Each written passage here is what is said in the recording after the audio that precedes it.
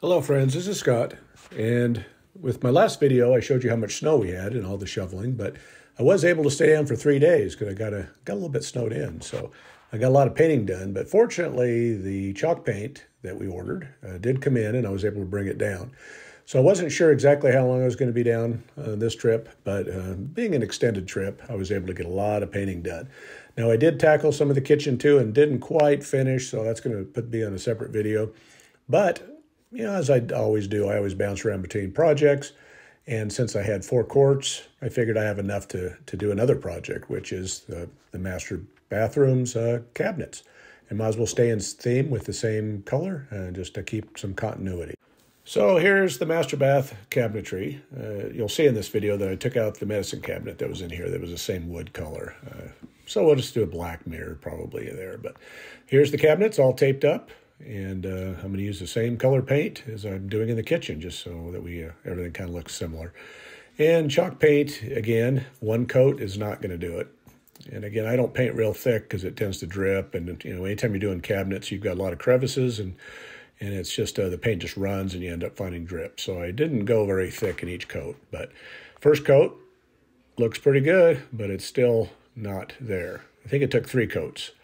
Now, the lighting in this house is terrible, as I've mentioned before. So I started working late into the night and uh, I was painting the fronts. So I took the fronts off the cabinets and the drawers, and then I painted the frames, and then I painted the, the fronts and then re, re put them on. So re, reattached them. So, so here's a look at kind of the drawer systems and what they and, and what I painted. And I hadn't got to the right side yet, but after I got that painted up and got the cabinets in, everything looks pretty good. Now it needed to dry to get its true full color because you can still see some, you know, some of the wet streaking in there. But uh, I think it turned out pretty sharp.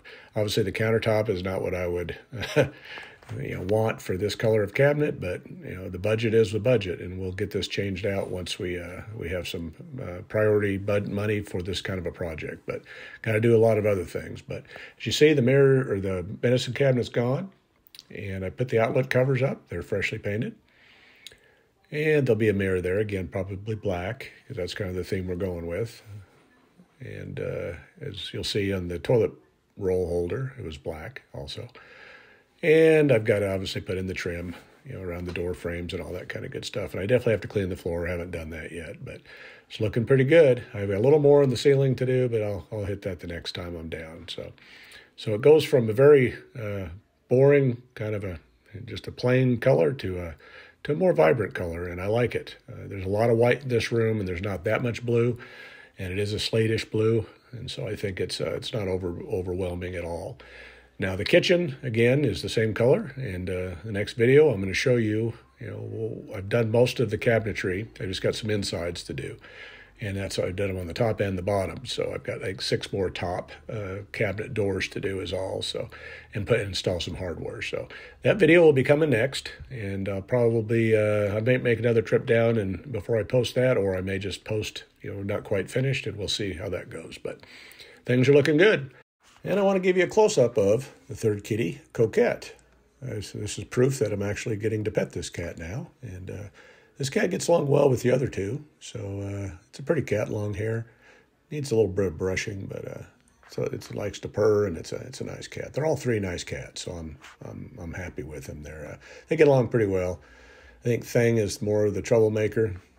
Uh, she's down there on the end. There's all three of them sitting up there where I have the food, the water, and the heat lamp. So they're all nice and warm. So, well, thanks for watching this video.